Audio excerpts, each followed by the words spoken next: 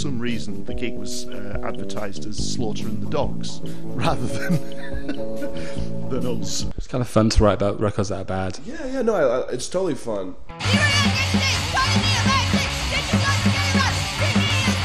So the question, what can squatters learn from punks and what can punks learn from squatters?